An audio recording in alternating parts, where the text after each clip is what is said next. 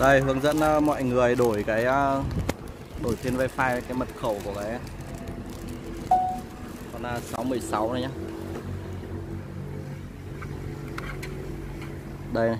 Đây, con ZTE model là ZTE F616 này mọi người quan tâm đến là đây đây cái địa chỉ IP 1.1 à.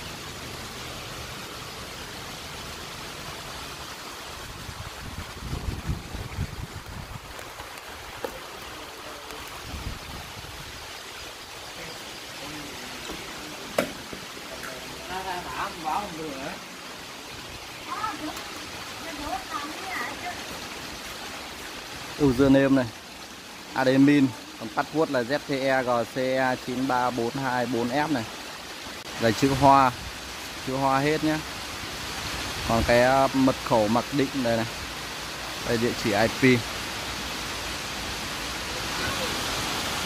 Bước đầu tiên là chúng ta kết nối đến cái wifi mà chúng ta cần ờ, đặt mật khẩu. Đây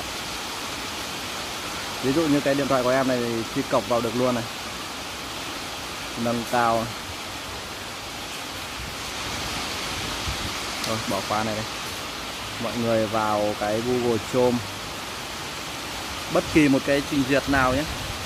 Xong mọi người đánh hết cái dòng đấy ra. 192 168 1 1.1 bấm đi. Ở đây ờ, thì nó báo là kết nối của bạn ờ, là kết nối riêng tư. Thì mình bấm vào nâng cao ở góc cuối này. Xong bấm ờ, tiếp tục truy cập 192.168.1.1 ở đây là hiện username thì chúng ta chỉ cần nhập cái lúc nãy vào thôi. Đây, username đây. Admin này. Password là ZTE này này. Đấy.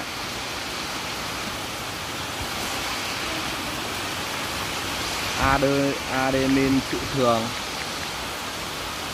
ZTE Rồi, login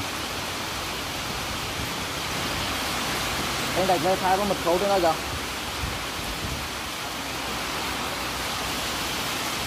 Rồi. Đây mọi người.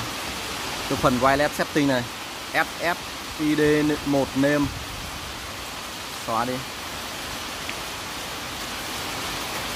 Đặt trên này. Để xin wifi á. Xin wifi họ đặt trên đây đặt cho cái wifi một cái trên. Ngay mở hay đỡ là nha trên đỡ là phục lành đấy. Còn mật khẩu ấy. Mật khẩu ấy bữa con nào cái khẩu thảm khẩu thảm một hai ba bốn sáu sáu tám sáu tám. Đây mọi người kích vào kích vào cái ô này để nó mở cái à, mật khẩu ra. Cái ô vuông ở đây. Ký tự là từ 8 đến 63 và nó không cho phép mọi người viết viết uh, có dấu nhé xong uh, bấm submit ở bên dưới. Đấy, như vậy là xong rồi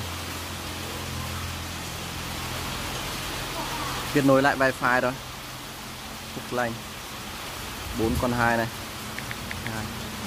Sáu tám sáu tám. Kết nối.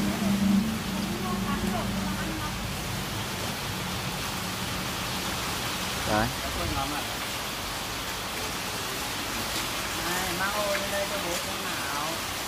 Như vậy là chúng ta đã đổi thành công cái tên wifi với lại cái mật khẩu wifi của con à, ZTE 616